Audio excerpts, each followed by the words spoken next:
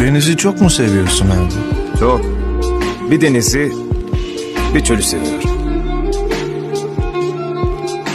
Niye abi? İkisinin de içinde olduğun kadar sanır.